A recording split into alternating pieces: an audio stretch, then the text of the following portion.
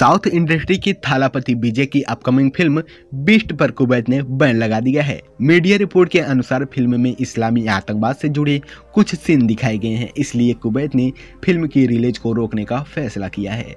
वहीं कुवैत सरकार ने इसे अपने देश के हितों के खिलाफ बताया है। विजय की होस्टर थ्रिलर फ़िल्म में पाकिस्तानी एंगल और आतंकवाद से जुड़े हुए मुद्दे को दिखाया गया है। जिन फ़िल्मों में भी अरब देशों को आतंकवादियों का ठिकाना दिखाया जाता है, उन सभी फ़िल्मों को वहाँ बैन कर दिया जाता है। बीट से पहले भी साउथ के एक्टर दुलकर सलमान की फ़िल्म कुरूप और विष्णु विशाल की फ़िल्म एफआईआर पर भी कुवैत ने बैन लगाया था। बिफ्ट का मुकाबला यश की कन्नड़ फ़िल्म के जी टू से होने वाला है।